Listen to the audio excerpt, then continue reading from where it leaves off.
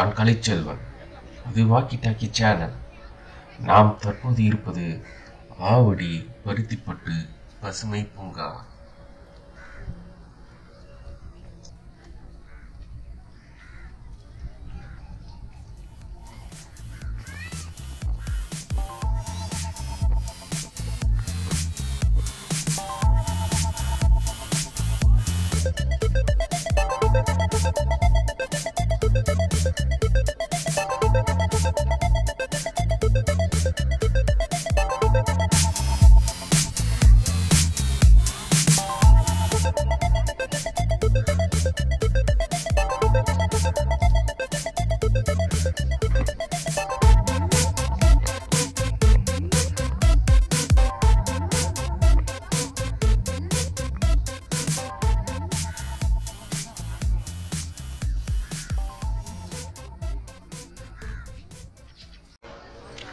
நீங்கள் பூந்தமல்லி அல்லது ஆவடியில் குடியிருக்கிறீர்களா? உங்களுக்கான சரியான ஒரு பொழுதுபோக்கு தளம் இந்த ஆவடி பருத்திப்பட்டு பசுமை பூங்கா. நீங்கள் இங்கு வந்தால் கண்டிப்பாக மனம் மகிழ்வீர்கள். இது ஆவடியிலிருந்து பூந்தமல்லி செல்லும் சாலையில் அமைந்துள்ளது. சரியாக காமராஜர் நகர் செல்லும் சாலை வழியாக சென்றால் சிறிது நேரத்தில் இந்த பூங்காவை நீங்கள் அடையலாம்.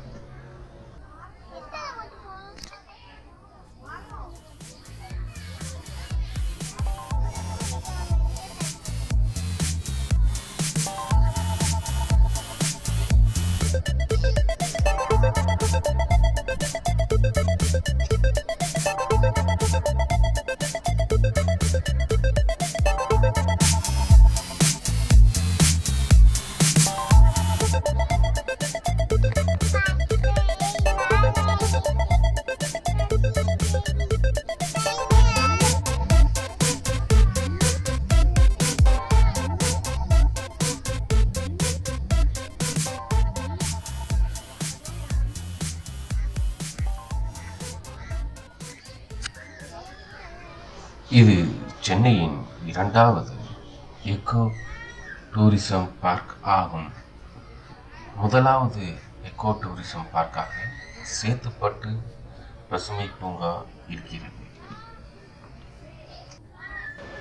சுமார் எண்பத்தி ஏழு ஏக்கர் பரப்பளவில் இருந்துள்ள இந்த ஏரி தற்போது தமிழக பொதுப்பணித்துறை கட்டுப்பாட்டில் உள்ளது.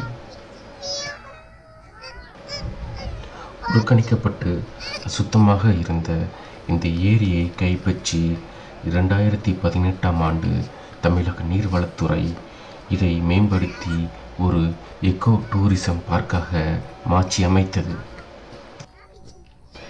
இரண்டாயிரத்தி பத்தொன்பதாம் ஆண்டு ஜூன் மாதம் இருபத்தி ஓராம் தேதி இந்த ஏரி மற்றும் இந்த பூங்கா பொதுமக்கள் பார்வைக்காகவும் உபயோகத்திற்காகவும் தமிழக அரசால் திறக்கப்பட்டது.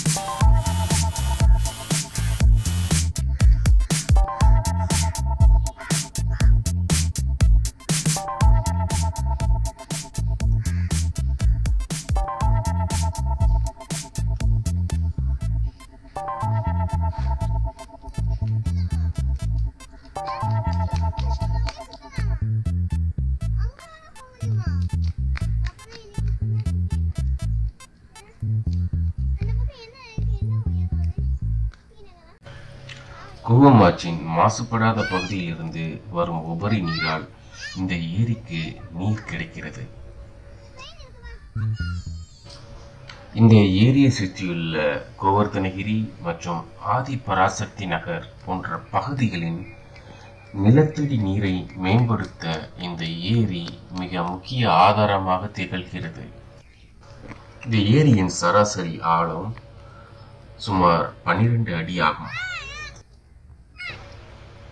தற்போது நாம் நடந்து கொண்டிருக்கும் இந்த நடைபாதையானது சுமார் மூன்று கிலோமீட்டர் நீளமுள்ளது. இது காலை மாலை இரு வேளைகளிலும் நடைபயிற்சி மேற்கொள்பவர்கள் மற்றும் இந்த இயற்கை சூழலை அனுபவிக்க விரும்புபவர்களால் நிரம்பி வழிகிறது.